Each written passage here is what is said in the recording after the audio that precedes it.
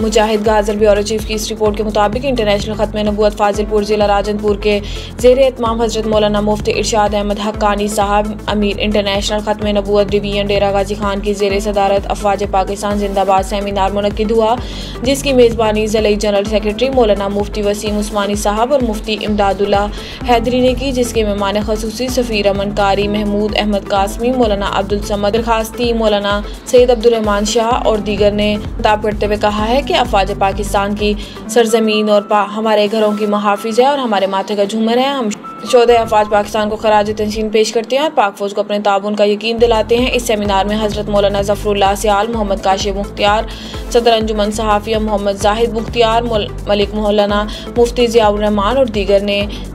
शिरकत की और आखिर में कासमी साहब ने मुल्क की सलामती के लिए दुआ कराई।